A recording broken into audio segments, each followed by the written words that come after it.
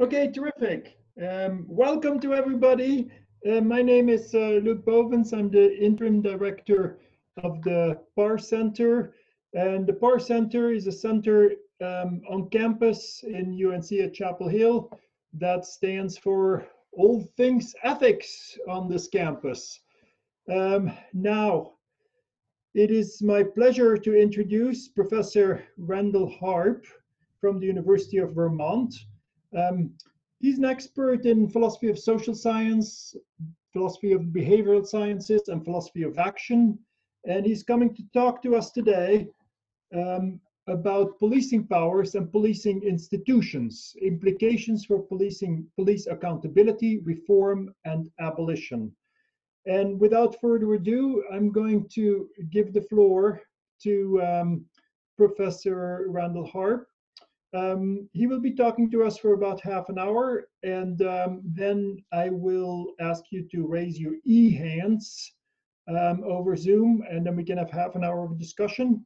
And so I would say, Professor Harp, take it away. Thank you very much, Luc, and thank you everybody um, for the invitation to be here. Uh, thank you, Jordan, for everything. Thank you, Luc. Thank you also. I see Sarah Stroud in the audience. Thank you very much as well. It's good to see some friendly faces. And I know there are a lot of people that were not able to make the talk today, um, which is, I'm, I'm sad because some of them are, are good friends and colleagues and others I'm I'm not worried because, you know, so I said, I'm, I'm nervous about this talk, as I'm going to say, this is, some of this is material that I do not necessarily work on directly. So some of this is a bit of a new area for me, and I'll say this, I'll say more about this in a minute. Um, so I'm, I'm, you know, everything that I say today is very much an invitation for you guys to help me out in understanding some of this, some of these, some of this stuff. And the talk today is also going to be a little bit more informal than I might usually give. So as Luc suggested, I, I primarily work in the philosophy of social and behavioral sciences, philosophy of action, collective action. Uh, I do a little bit of work in um, data ethics as well. And as far as philosophy goes, I've done almost no work and I've had for a long time almost no interests in the question of policing. Uh, so why am I giving a talk today on policing? Now, I have for the last couple of years uh, done some work in Burlington, Vermont, which is where I am. I've served on the police commission in town, which is a kind of toothless citizen oversight board, right? You know, it's basically kind of um, advisory body for the police department. And I, when I joined this body, I didn't realize that it was necessarily a toothless organization, but I joined it because I was concerned about the state of policing in the country. And at a certain point, I said to myself, well, I can't just sit back and not do anything. I have to do something.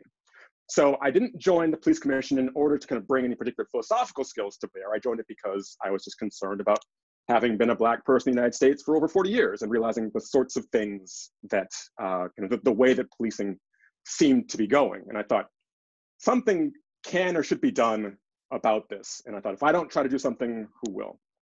Um, and I said, so having served in that capacity for a couple of years now and trying to see some of the ways in which, um, you know, ways in which we talk about trying to change or reform or abolish policing, some ways those discussions have happened. I think I have at least some, I've had some thoughts about how that is all going. And um, so like I said, so this is my first attempt to try to put together some of those thoughts, especially in the context of various discussions that are being had about uh, police reform versus abolition or about kind of what needs to be done with policing, how to make those changes happen, etc. So uh, my the slides I'm going to present are also I mean, they're just basically an outline for you guys to follow along. Uh, most of it will be just based on discussion. So let me see if I can share this now. Uh, let's see if I can pull it up. I hope it's this. Let's see. Oops, and sorry, so I've updated my OS recently, which means, of course, now that I need to change around all the permissions. So let's see if I can. Oof. Okay, so I'm being told that I need to actually quit out of Zoom in order to give it permission to share my screen. So I'm going to quit out of Zoom and pop right back in in 30 seconds. Sorry about that, uh, Jordan and Luc, but I'll be right back, hopefully.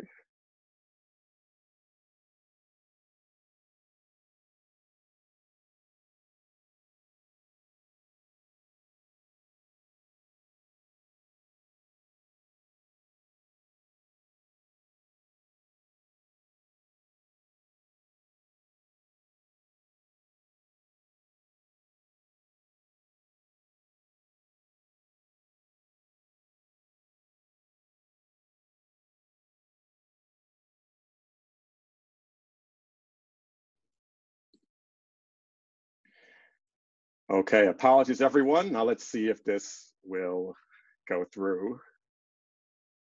Uh,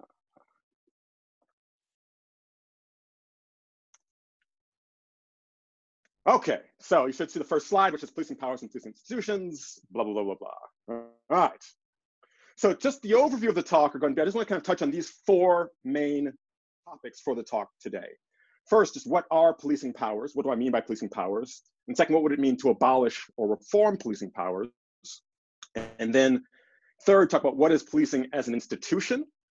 And finally, talk about kind of what, you know, can the institution of, be, of policing be made better? Or is that just kind of a lost cause? So I really do want to draw this contrast between policing powers on the one hand and the policing institution on the other. Uh, so I gave this bit of background on really like why this talk, why now. Um, you know, I, I, think everybody kind of has this kind of particular breaking point in some of these things. And my first breaking point with respect to policing in recent times was, you know, actually it was, you know, it was actually, it was not, it was not Mike Brown, it was not some of the other things. It was the case of Philando Castile, who was, you know, a, a black motorist who was killed in the state of Minnesota, not too far from where I grew up. Actually, I grew up about four blocks from where George Floyd was killed. But the case of Philando Castile happened, you know, a few years before that. And this was a black motorist who, you know, was stopped by a police officer, again, St. Paul suburbs, and informed the officer that he had a firearm in his car, as he thought it was his kind of duty to inform him while he was reaching for the identification the officer requested of him. And the officer saw him reaching for his glove compartment to retrieve his identification, and the officer shot him. And this is also a case where the officer was not found criminally or civilly accountable for that killing. And that was the point where really I just, you know, I mean, first I, I spent several days just, you know, quiet in my room, where like, you know, how did this happen? And I was like, well, what can be done about these sorts of cases? What are we to make of policing right now? Like, what is policing even doing? What is it for? And like I said, and obviously there have been a lot of cases since then that have tapped tasked all of our kind of collective patience with the nature of policing. You know, so how can I do something about that? And um, like I said, and I do want to draw this sharp contrast between policing power with the institution of policing, because I think that everyone will agree that there's something that's gone very wrong about the way that policing is done in the United States. And I will focus on the institution of policing in the United States, probably because that's just the thing that I'm the most familiar with. But there are, of course, kind of peculiarities to the way that America does policing, which aren't necessarily uh, easily generalizable to other places.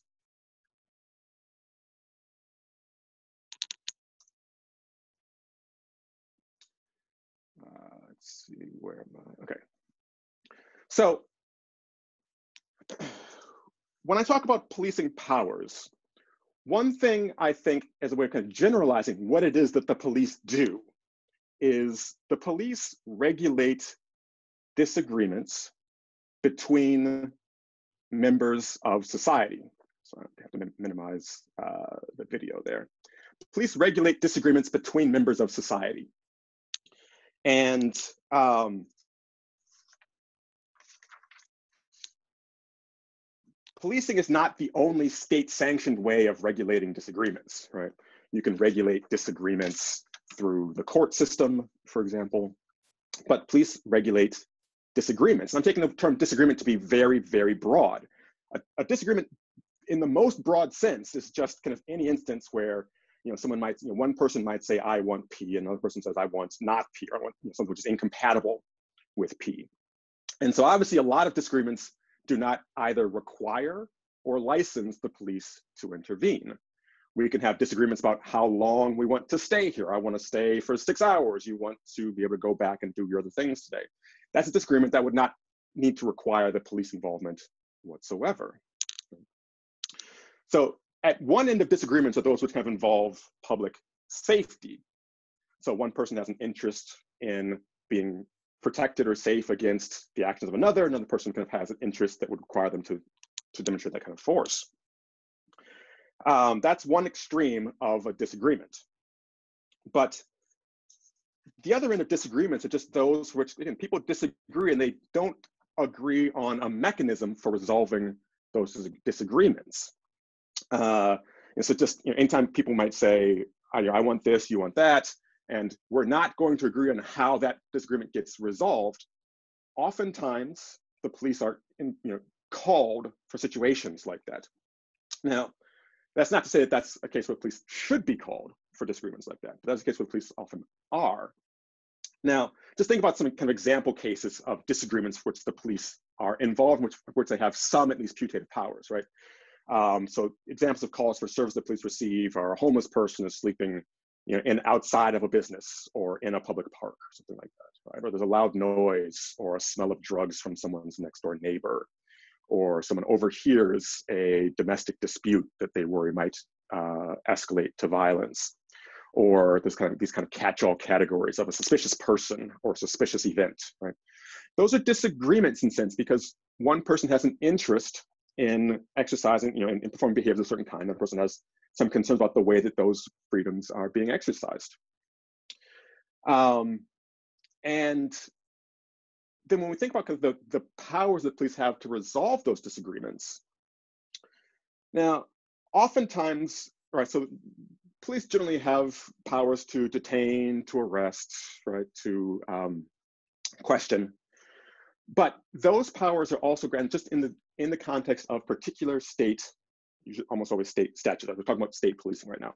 So state statutes. And those statutes kind of stipulate what sorts of disagreements the police have certain powers to resolve one way or another. Um, you know, if there's a state statute that says, you know, that um, people cannot loiter in public areas for a certain period of time, then that's the sort of disagreement that the police now have powers to regulate. And that provides at least one clear mechanism for the police to resolve disagreements that are being held in public or private spaces. Um, but importantly, right, there are kind of two different ways of thinking about disagreements of that kind. There are the disagreements for which there's a clear statute that explains how that particular disagreement gets resolved.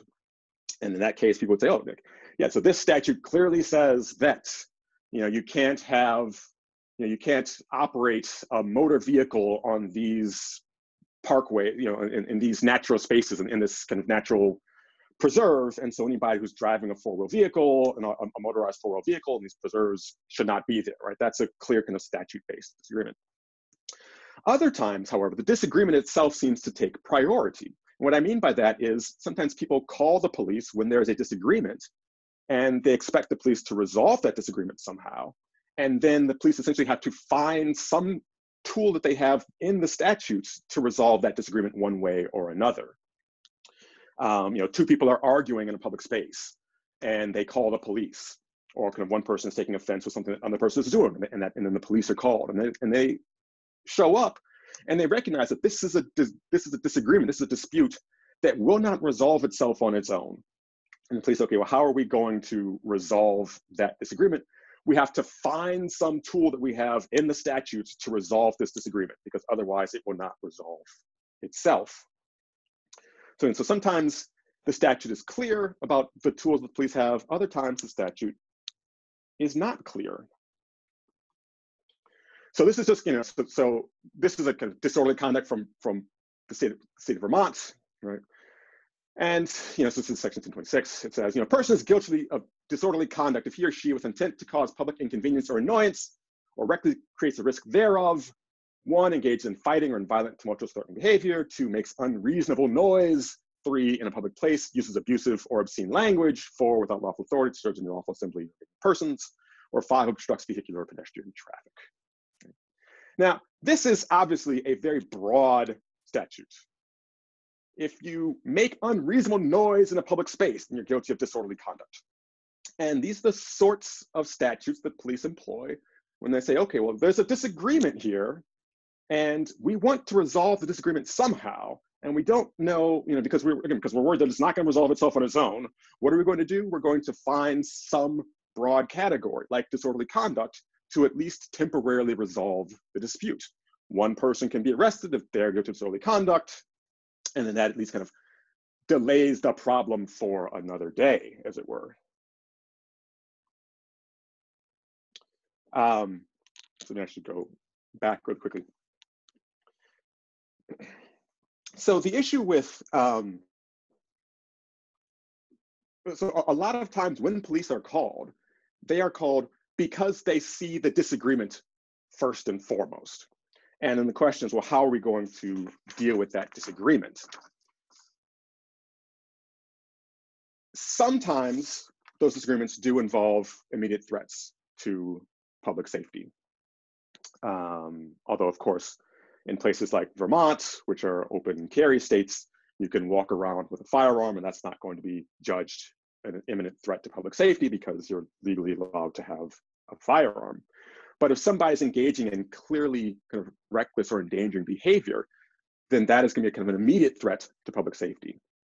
However, most of the time, that's not, in fact, what police are called for, and that's not how police are using the powers that they have to resolve disagreements in public. Most of the time, police kind of identify a disagreement that seems to be prior to the statute, as it were, and they want to use the tools they have to resolve that disagreement. Um, now, if those are the powers, if those are kind of ordinary policing powers, what are the problems with those? And of course, there are a bunch of kind of problems, even just the way that we've laid out this description of policing powers, right? The first is just a question of efficiency. So when I talk about efficiency, I'm talking just basically about a kind of cost benefit analysis of using the police as an institution to exercise these policing powers. The first question is, is it the case that the most effective way to resolve disagreements is to wait for them to develop and then deploy the police to resolve them rather than resolve the disagreements ahead of time through some other tool that the state has to allocate resources, right? Um, if, you know, in, in, a disagreement between, again, let's say this kind of stereotypical shop owner and a person who is not homeless by choice, not unhoused by choice, right? it might be that that disagreement, I have this person, the shop owner says, I have this person sleeping outside of my business and it's bad for business. I want that to be resolved somehow. That disagreement might be resolved if the state were instead to deploy resources that would house unhoused people, right? People unhoused not by choice. That would be a way of resolving that disagreement prior to needing the police to intervene. And we can think of a lot of kind of potential other resolutions of dis disagreements that would not require the police to intervene after this disagreement arises. Um, you know, any disagreements that seem to that seem to arise from some need that somebody has. So think about kind of larceny or theft, right? Uh, those might arise from needs that people have. It might be that resolving those needs through power through other powers that the state possesses can prevent or obviate the need for policing powers to be brought into bear after the disagreement arises. So, right, when we do a kind of basic cost benefit analysis of policing, it might be that the resources that the state employs to exercise those powers to resolve disagreements are not actually the most efficient way of resolving disagreements. It might be more efficient to resolve them before they actually arise. Uh, the second problem with policing powers, broadly described, is what I'm going, what I'm calling kind of statutory privileging of interests. Right? So, right, it is not going to be a surprise to anyone that when laws are passed, laws are passed in order to privilege certain people's interests. Um, take a law about loitering, for example. Why might that law be passed? Because shop owners might say, you know, I don't want people to be loitering outside of my businesses. And I have the phone number of the state legislators, and I will just ask them to pass a law that prevents people from loitering. Uh, very often, unhoused people do not have access to create the laws that they would like to create. So, right, whenever there's a disagreement, there's going to be basically kind of conflict of interests between people in a society, and the sorts of statutes that are passed are going to privilege some interests over others, and those generally tend to be people that are in a privileged position in society. So the mere fact that policing powers are kind of called in to enforce statutes means that that's already going to be privileging, responding to that previous privileging of interest that existed when the statutes were passed in the first place. Uh, but in addition to kind of the statutory privileging of interest, there's also what I'm calling discretionary privileging of interests. So again, there's a lot of discretion that uh, people who are exercising police powers, right now let's just call them police, there's a lot of discretion that people who are, who are exercising police powers have in resolving those disagreements. If two people have a, a disagreement and you, arrive, you as a police officer arrive on the scene and you want to resolve the disagreement, you might form a judgment about how that disagreement should be resolved. And then you as a police officer have the leeway to choose essentially kind of whatever statute enables you to resolve that disagreement in the way that you think is appropriate or best. So if there are conflicts, um, let's let's take a kind of stereotypical domestic conflict right now between a husband and a wife. Um, and let's imagine just to kind of further uh, goose the story, let's imagine that the husband is a powerful and prominent member of society. A police officer who's called on scene might decide to, you know, that the best way to resolve the disagreement is to find a way to employ some statute to uh, protect the interests of the powerful member of society rather than the wife in this case. That is a discretionary privilege of interest, but that is a that is something that the police are always essentially going to have the power to do. Now, there are always ways to restrict discretionary exercise of power, but it can never be completely eliminated. So there's you know, there's no way to be so uh, detailed in laying out the, the policies and procedures and statutes that it removes discretionary capabilities entirely. Uh, and then the last thing I was going to say is just about general policing strategies. So, you know, I think people also kind of underestimate sometimes the extent to which the um, the priorities of a police department are set by uh, you know, the police chief, the mayor, if the mayor's, you know, it has authority over the police chief or um, a city council, city council control police chief or whomever, right? Those discretionary judgments are set by people in charge of policing. So someone might say, you know, we want to prioritize quality of life offenses. And so that might mean, yeah, like we really want to make sure that we're using police powers to um, resolve noise complaints or we really want to use police powers to resolve uh, drug possession complaints. And you know, nothing in the statute itself requires that police powers be exercised in order to resolve it, unless, like I said, unless kind of, um, it seems like, you know, unless it's something is kind of imminent or, or there's no leeway whatsoever. But how you decide which statutes to enforce, what the sort of strategy would be of a police department, is discretionary. And those general policing strategies, right, they kind of start by saying, okay, we're going to find these statutes, but then we're going to implement these strategies to enforce these statutes. And police are always going to have the power to do that sort of thing as well. So policing powers are always going to have a certain amount of discretion involved in them. And that discretion is always going to allow for certain interests to be prioritized or privileged over others. Now, that's obviously going to be a problem when the interests in society are imbalanced or unfair. Uh, and I think those concerns that, you know, that, that those policing powers, that there's always going to be the possibility for policing powers to be exercised unfairly, and that's going to be amplified in an unfair or unjust society. Those concerns, I think, have led people to say, the problem is just with policing powers in general, and those policing powers should either be reformed or abolished. Now, with respect to policing powers, though, I think that there are a number of claims that are made about kind of, right, so I, I think that when people talk about abolition and abolition of police, I think they're not all, people are not always clear whether they're talking about abolition of policing powers or abolition of police as an institution. And I think that when we talk about abolition of policing powers, I think that becomes problematic. Uh, but you know, so when we think about a, a, few kind of basic abolitionist, policing abolitionist claims, one abolitionist claim would be something like, nobody in society should be tasked with exercising police powers. That claim, I think, is, it, it's hard for me to see how that claim specifically would work. And the reason is because, you know, even putting aside the questions of kind of imminent, imminent threats to public safety, there are always disagreements in society that might require somebody to be taken into custody on behalf of the state, on behalf of us, the people.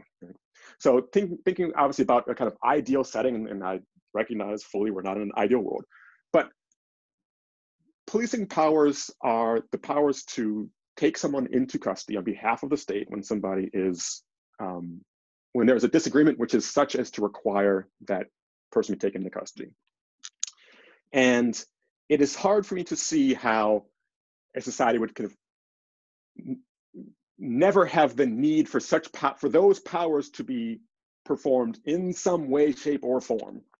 Now, people do sometimes say, well, you know, if you resolve all of people's needs ahead of time, then you will eliminate the need for any policing powers to be exercised after the fact. Right? We can get rid of all the disagreements in advance if we just if we just marshal resources differently. And so that's a claim that I think is sometimes made on behalf of the claim that nobody in society should be tasked with exercising police powers. But I just think that that claim is wrong. And I think that it's hard for me to see how somebody could live in America and think that claim could be right. Because one of the things that America has shown us is that some people's interests really are in the domination of other people. And that interest does not go away just because you give that person, just because you distribute resources differently. Um, the, the fact is that sometimes interests are kind of group based or group identity based. And so people's interests might be in organizing society with respect to other groups or other interests in a particular way. And those interests don't go away just because you're kind of distributing resources in a particular way. Uh, you know, uh, interests that people have in, uh, you know, interests that white people have in subjugating black people, that men have in subjugating women, like those interests don't go away just because society, just because resources are tasked differently. So I, I don't necessarily see the possibility of completely resolving the need for policing powers performed, performed in that way. Now, another abolitionist claim which is sometimes offered is that police should not be performing policing powers, but someone else should. Um, you know, for example, I hear people say, and I, I know I'm going to push through some of this stuff. People sometimes say, you know, we don't want or need the police to walk neighborhoods, right? Just have a bunch of bouncers do that instead. Bouncers are able to exercise those powers much better than anyone else would be able to. And let's just accept right now that that claim is true. Uh, you know, bouncers are better able to de-escalate than the police are. Let's accept that that's true. That is not a claim for abolishing police powers. That's a claim for taking those police powers and giving them to someone else, namely bouncers. Because as soon as the as the bouncers who are who are walking neighborhoods are empowered by the states to detain somebody who is violating certain certain statutes or certain kind of certain rules of rules that we collectively have set, then those bouncers are acting as police. And it's not police abolition to say we're going to make bouncers do that job instead.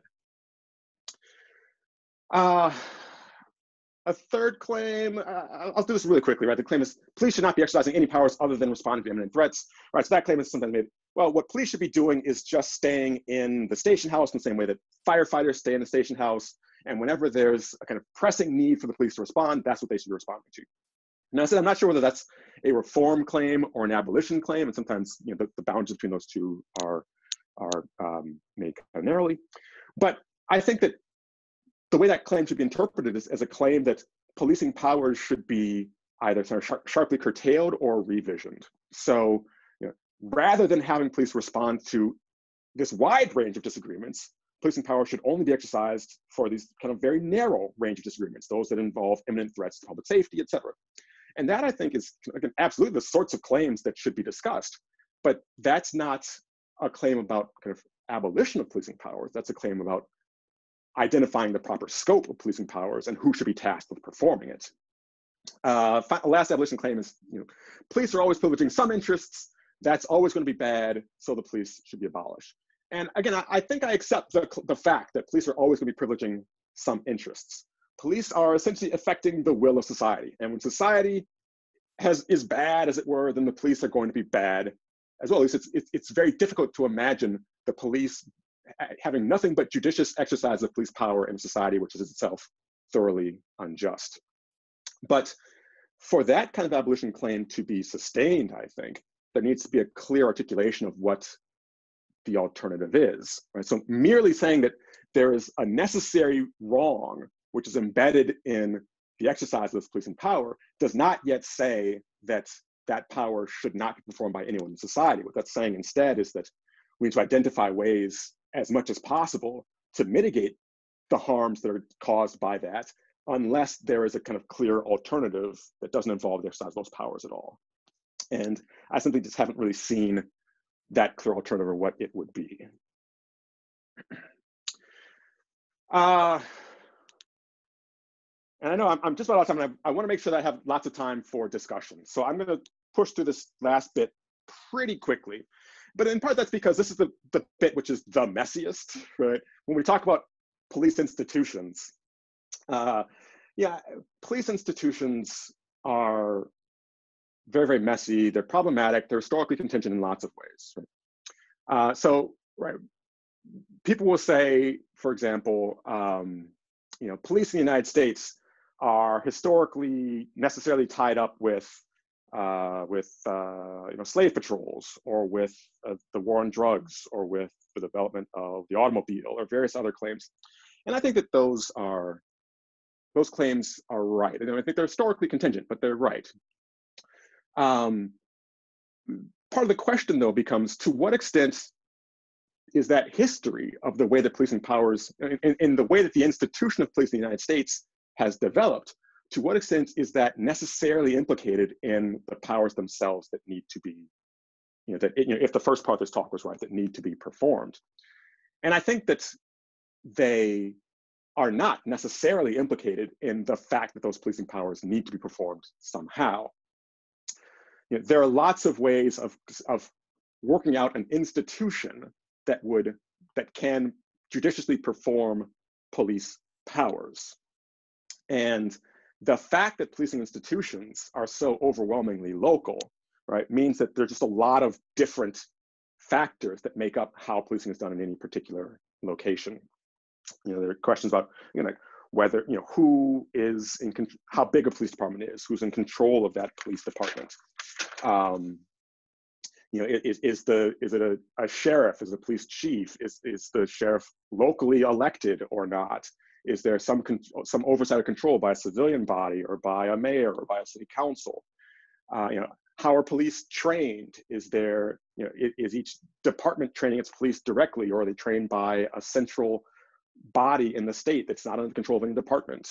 Um, you know, all of those things matter, and the fact that in, in the right, so the, the fact is that in the United States, right, you know, almost every officer is going to carry a firearm. Uh, you know, in, in part because this is America, right? Which just means that everybody in society has a firearm, and the worry among police officers is always we cannot perform police powers if we are trying to affect them against somebody who has a firearm and we do not. Um, again, I'm not sustaining that claim. I'm just saying that's the claim that's often made. Um, and the you know, as a matter of legal interpretation, right, the way the Supreme Court has interpreted the Fourth and Fourteenth Amendments, the criminal bar for police misconduct is extremely high, and police are trained.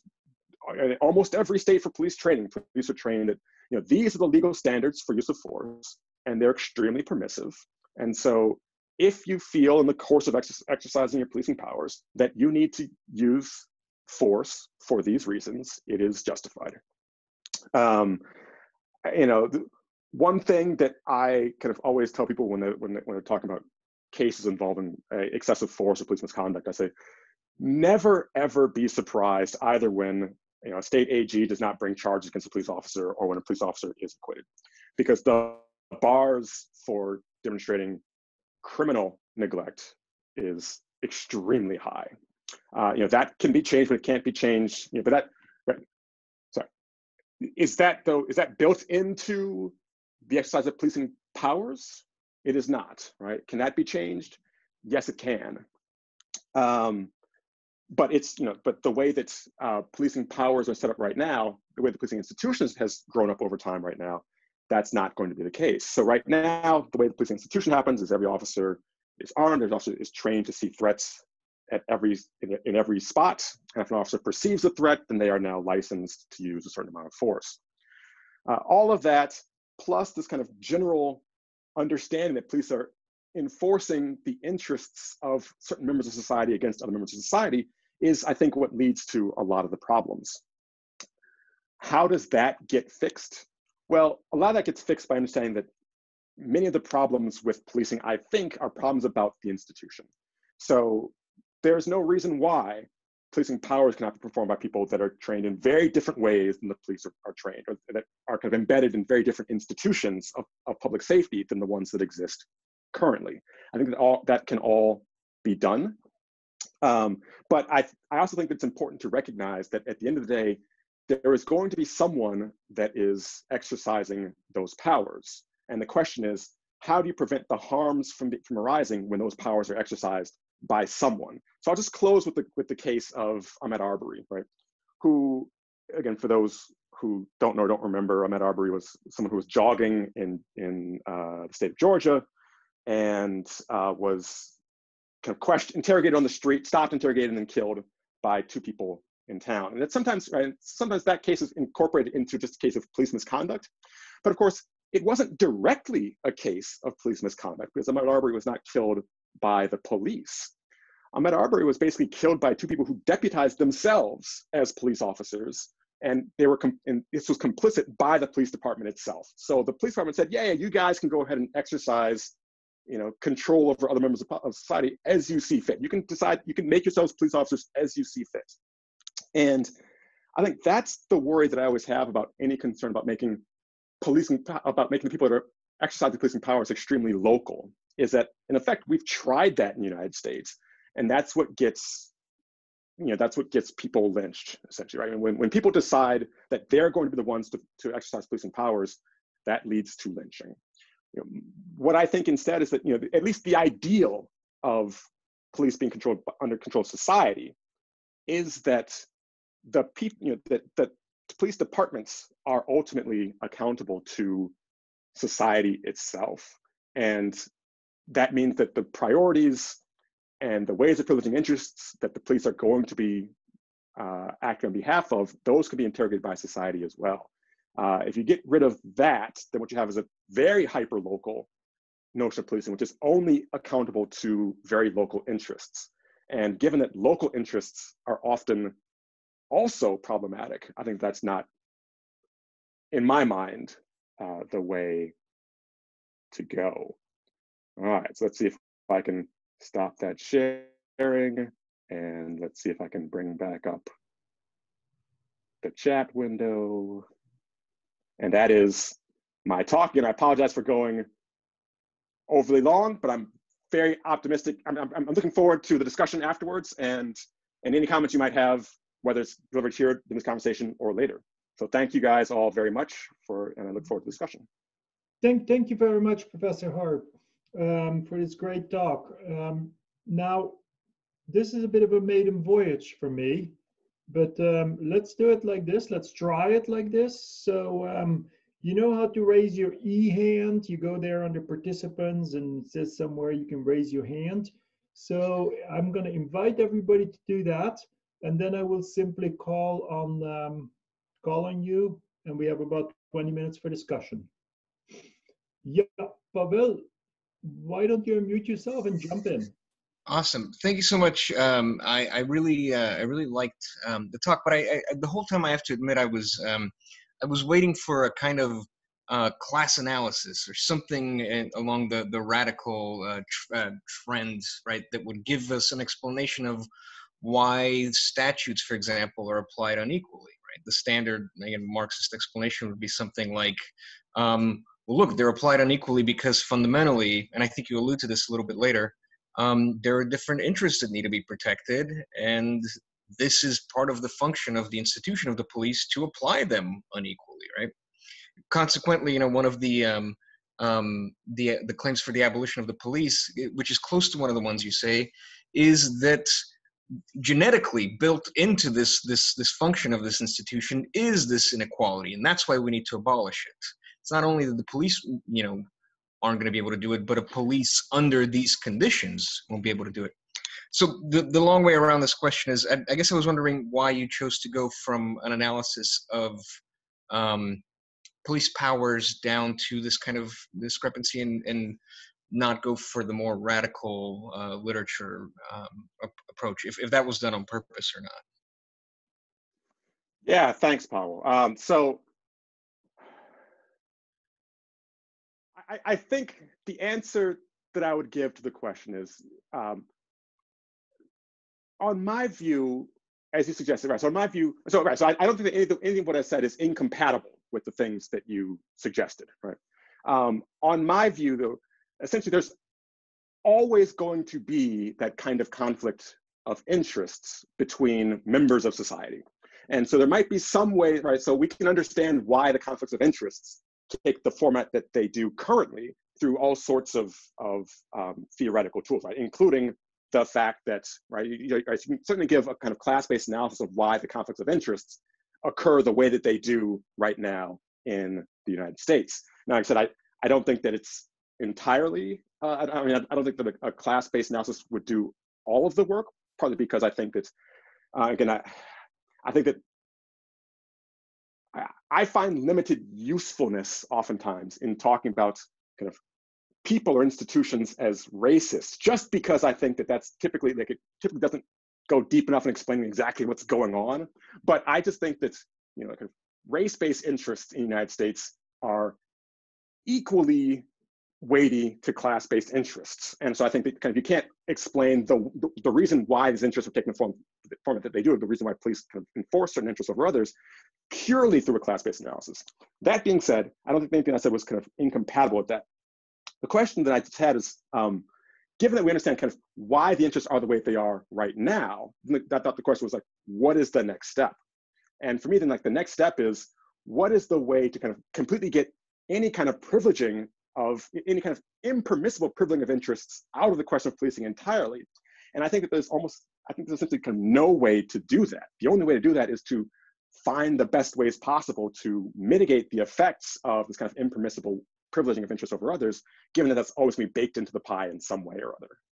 So I don't know if that was a direct answer to the question, um, but that's the best answer I'll give right now. No, thanks, I appreciate it. I was nodding vigorously, but then I remembered that all you can see is my amateur uh, author photo. So yeah, yeah. appreciate it. No, thank you. Luc, I think you are muted. Yeah, thank you very much. Uh, Lenny, you want to jump in? Lenny Schenkel. Hi, uh, thank you again for coming to our school and well, coming to our school and sort of giving this. I really do appreciate it. Um, I wanted to sort of jump back to your initial explanation of uh, what the job of the police is, is sort of um, an institution that solves disagreements. Uh, it wasn't a way I'd ever seen it before. It was very fascinating to hear that it really put some things in perspective. I was wondering, um, do you think that the police are trained with that explicit goal being conflict resolution and to solve disagreements, or do you think there's a bit of a, um, I guess, a discrepancy there?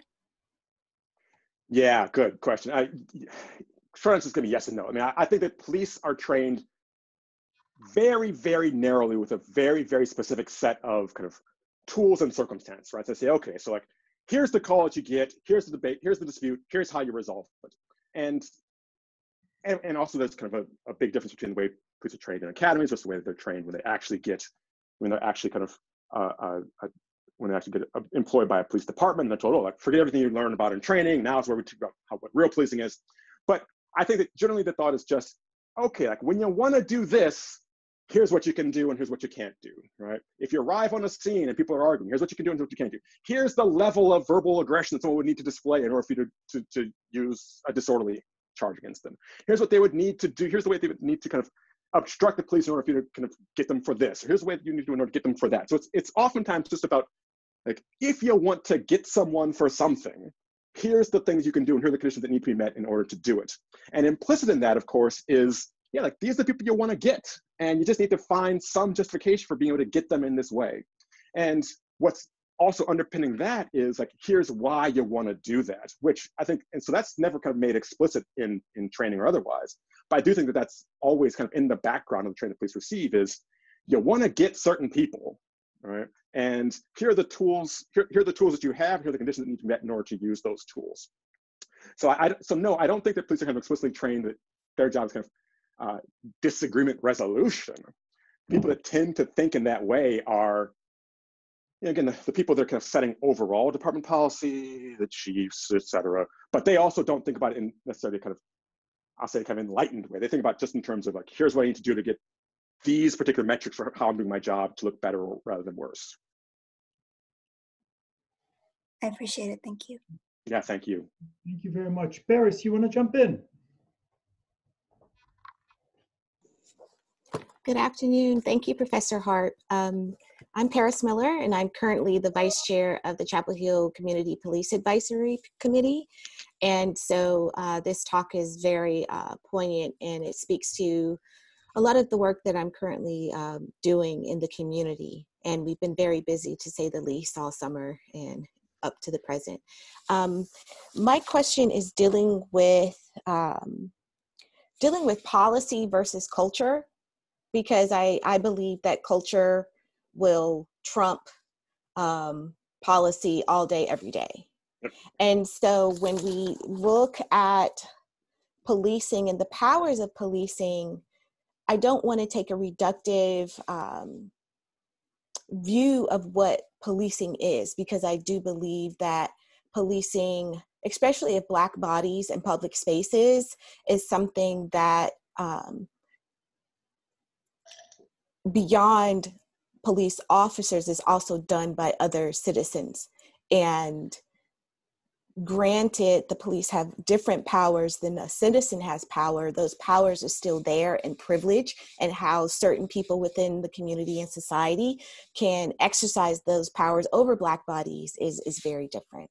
Um, also, and if you could just, you know, kind of like speak to that and how that kind of like works with all of that and my second question is around the police being kind of a communal catch all of all of the problems and issues and them having to show up and not having that policy to address the conflict and so the role that like crisis units will play um, and how we should start thinking about that so that um, that conflict doesn't come into play when we're dealing with homelessness. And so, police, we fund the issue of homelessness on the back end through policing as you know opposed to funding it on the front end. Thank you. Yeah no thank you. A lot of stuff there so i'll, I'll try to push it through as quick as i can but i'm happy to follow up this discussion um, if i don't cover it all. Um, so first Clint, yeah so i I absolutely agree, right? I think at, at one point I heard a, a, police chief say the phrase, you know, culture will eat policy for breakfast any day of the week, right? And I heard another chief say that, and I heard another, and I was like, okay, well, this is clearly something that they like. This is a phrase that they know, but it, but it but it doesn't make it any less true. Right? So you're absolutely right that, that department cultures matter quite a bit, and policies matter less for a few reasons. Uh, one, I mean, and, and of course, it's, it's useful, I think, to keep in mind that when we talk about kind of culture, that speaks entirely to kind of how officers are trained and acculturated within a department. That speaks to kind of the, the disproportionate effect that unions often have in establishing police culture, right? So police chiefs generally tend to be at a department for, you know, three to five years. Union heads are there for 20 some years. They, they can easily outlast police chiefs.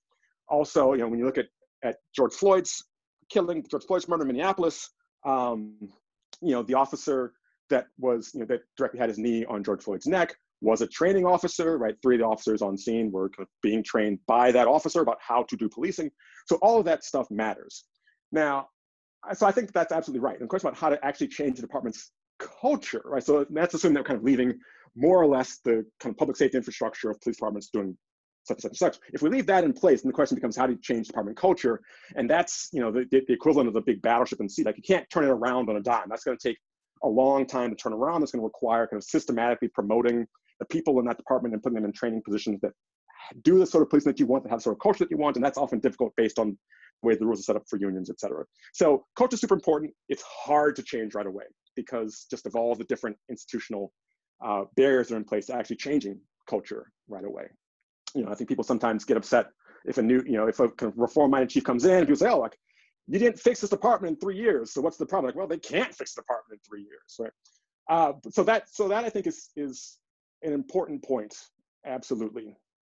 Um, how to change it? Like I said, that's that's tough, but it requires like really finding ways to either you can kind of change the department around entirely in, in an instance, which essentially was what happened in Camden. You know, they dissolved the police department in order to rebuild up and say, you know, if you want to get hired back at this new department, county level department, you need to re-ask for your job, right? So that's one way of kind of completely cutting out the impact of the union and requiring every officer to reapply for the job so you can fire all the ones that you don't want. Otherwise, you know, like sort of like systematically getting rid of every single officer that you don't want in a department, it's hard to change a culture around right away. That being said, policy, of course, does matter because policy is kind of a necessary but not sufficient condition for holding officers accountable. So if you don't have the policies in place, right? So basically, like, oftentimes officers cannot be disciplined unless they've clearly violated department policy. And sometimes department policies are thin enough that they just something like, look, if it's legally permissible, then it's okay by department policy, especially with respect to use of force. And that is absolutely not the level that we want because, as we said, the legal requirement is so such a low bar to clear that almost everything is legally permissible. So those department policies can and should hold higher standards for officers with respect to use of force than just, you know, if it satisfies Graham v. Connor, then it's okay. Like that's a terrible standard. Um, but even if you have the policy in place, that, that by itself doesn't ensure that an officer is going to be held accountable because somebody still needs to decide, yeah, I'm going to enforce this department policy, right? I'm going to I'm going to actually like hold you to the highest standard I can according to that department policy, and that becomes a matter of culture again as well. So, yeah, so policy does not like officers on the street are often not just thinking about policy when they're deciding how to do their policing. They're going by what they've been taught by the training officers, et cetera. But if you actually want to hold an officer accountable, you need the policy in place. So policies are important, but not but not everything that you need. Um, and then uh, didn't get a chance to write down the second thing that you asked. Uh, could you rephrase the second part of your question really, really quickly? Yes. So dealing with police um, departments being kind of like a catch-all and using oh, yeah, yeah, good, crisis good, units. Yes. Yeah. yeah. Yeah. So look, if I could snap my fingers and just kind of fix policing right away, like one thing I would do is actually like actually change the way that public safety is done. So right now, like what, what is involved in public safety? You basically got police, medical, and fire, right? And right now, calls kind of come in, they get distributed to police, medical, and fire based on how the dispatcher thinks it needs to be distributed. You don't need to have just police, medical, and fire, right? So you can have people that are also in the rubric of public safety who are first responders that are tasked with just, just providing services. So you can have that built into public safety. You can have kind of you know, people that are kind of working with mental health crises built into public safety at a fundamental level, right? So it's not police re- responding first, it's somebody who's, who's just tasked with doing mental, mental health who's responding first, right?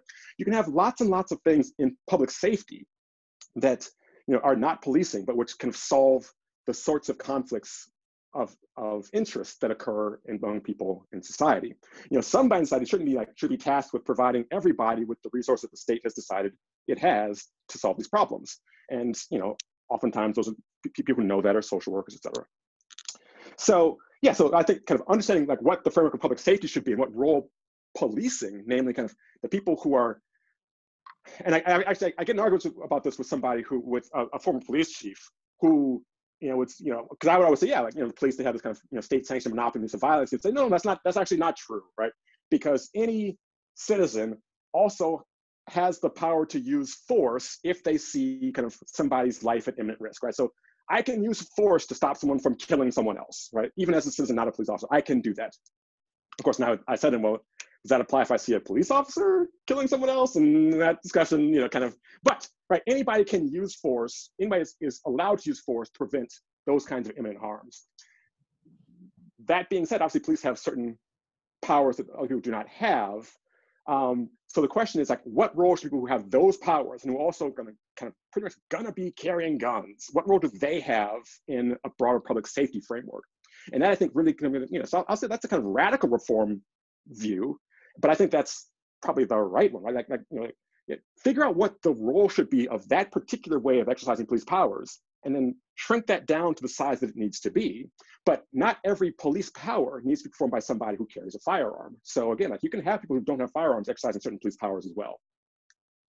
Sorry, that was a lot, um, but I I think we can squeeze in one more question. And, and also, and I'm, I'm happy to stick around. So I'm, I'm not going anywhere at three. I'm happy to stay if people want to. Okay, that's good. Let's take one more question officially, and then you know if you stick around and some people want to stick around, then uh, we can have an informal discussion too. So Exxon Shekolaram, you want to come in? Yes. All right. Thank you, Professor Randall, for this wonderful presentation. Uh, I want to just uh, build off on Pavel and uh, Paris's excellent comments and um, think about the place of police, meaning the position of police. Can we think about it in a space between civic society and the state? Meaning, can we think about the position of police as an interstitial space of legitimacy of community in civic society and the legality of force of the state in terms of the function of the state, in terms of control and power. And if I want to complicate that question, if it is not already bad, uh, I can think about Althusserian notion of distinction between ideological state apparatus meaning it's schools, it's churches, it's um, institutions that are not officially uh, related to power, and it's repressive state apparatus, it's military force, it's police. Then, uh, you know, Paris's question that culture comes in would be interesting, meaning that whether we're thinking about the ideology of the state, of control of certain idea of order, we we hear so much these days about you know order. And that is definitely a kind of falls in this idea intersection again between repressive state apparatus and ideological state apparatus. Order for sake of whom? To serve whom? So i'm wondering how can we think about the the place of police and the idea of serving the public and the task of police in this positionality? Thank you yeah, thank you. Um, so I, I, meant to have a, a, long disclaimer at the, at the top of this talk that there's a huge amount of literature that I have not read and still need to read uh, covering policing, right? Including kind of the, some of the, the, political philosophy stuff, some criminology stuff, some of the legal stuff, some of the historical stuff. Like this is a lot of stuff that I have not yet had a chance to fully get myself immersed in. Um, I, I, would say in response, and I worry that I'm not going to answer your question also as adequately as I should. But what I thought about when you were talking was, um, yeah, you know, there, there, there are, as you say, a lot of institutions that are exercising a certain kind of um, power for the state, and police are just one of them. And the, the way those powers get get effected or practiced are slightly different. But I think it's also important to note that you know the police are also not always exercising kind of coercive or physically coercive power, right? You know, police like schools, churches, like other institutions, are exercising kind of non-physically coercive power as well. As you say, and, and oftentimes that that power is in order to establish what society has decided is the proper order for that society, right? So, you know, so when, whenever certain members of society are judged to, have their, you know, to be privileged over others, the police will be enforcing that one way or another, either explicitly or implicitly. Like even questions about like where police are patrolling, right? Right? Because sometimes people will say, oh, yeah, if, if you want to imagine what police abolition looks like, just go to a suburb, is what it says, right? And, you know, you won't see police walking around. You'll see police walking around in kind of you know, in the areas. That's what we're talking about. Um, yeah, so so even the fact that kind of police are policing certain areas is another way of kind of non-coercive non-physically coercive um, way of kind of exercising state control over people. Um, what does that mean? Well, again, I, I think that what it means for all such institutions, including the police, is that we need to have a very, very explicit eye about what it means to have police as a particular institution exercising what I take to be kind of legitimate powers in certain ways. So, so again, I, so I think that there are some ways in which there are necessarily going to be problems with any exercise of, poli- of legitimate police powers. I think that's always going to be the case.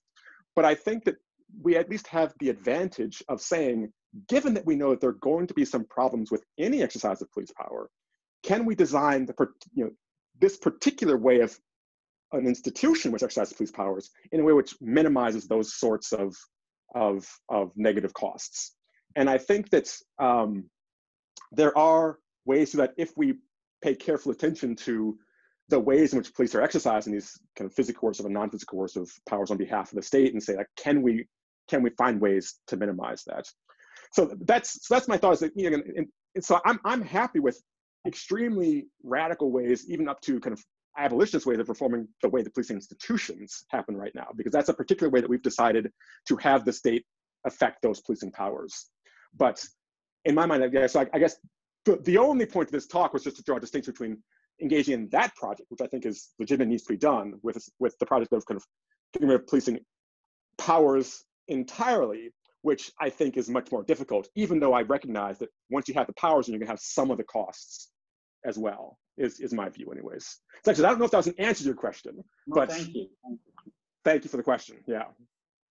Terrific. Okay, well, that brings us to the end of our session. Um, thank you very much, Professor Harp, for this, you know, wonderful uh, presentation and the discussion afterwards. All the discussions, that discussants, thanks very much too. So I propose that, um, you know, we thank our speaker, you know to do that with the, the e-hands. Um, and um, if this works for you, Jordan, we could keep the channel open for a while longer for those people who want to talk directly. Is that okay? Yep, that, that works fine. Terrific. Okay. Thank you guys very much. This, this, this was not the, the visits to UNC that I might have envisioned in my dreams, but uh, it, it- but I very much appreciate all of the uh, questions and comments. And I said, please feel free to email me if you have any other comments which we didn't get a chance to talk about today. I'm, I'm eager to hear all of it. So thank you very much.